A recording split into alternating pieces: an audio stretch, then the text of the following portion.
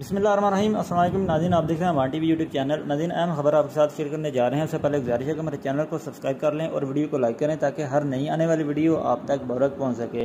नाजिन, तहसील मलकवाल, मंडी बहाउद्दीन के इलाका। गोजरा के नवाही गाँव तैतीस या खासा में कतल का एक और अफसोसनाक वाक़ पेश आया जिसमें अब तक आठ अफराद जो हैं इस कतल की दुश्मनी में जहाँ की बाजी हार चुके हैं। इस वाक़ का पस मंज़र आपके साथ शेयर करते चलें। मीडिया के मुताबिक, इसी साल जनवरी में एक अफसोसनाक वाक़ पेश आया, जिसमें एक ही गाँव के दो घर जो कि आपस में हमसाए हैं, गली की तमीर के तनाज़ा पर इनमें फायरिंग का तबादला होता है, जिसमें चार अफराद कत्ल हो जाते हैं, जिनमें से दो भाई बाबर सुल्तान और आतिफ सुल्तान भी शामिल हैं और एक शख्स जो है ज़ख्मी हो जाता है।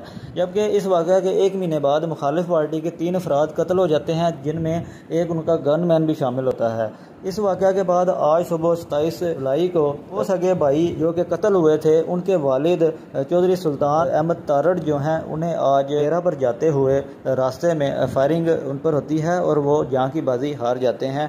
और अब तक आठ अफराद जो हैं इस कत्ल की दुश्मनी में जहाँ की बाजी हार चुके हैं। अब तक के लिए इतना ही। अगली वीडियो तक के लिए दीजिए इजाज़त, अल्लाह हाफिज़।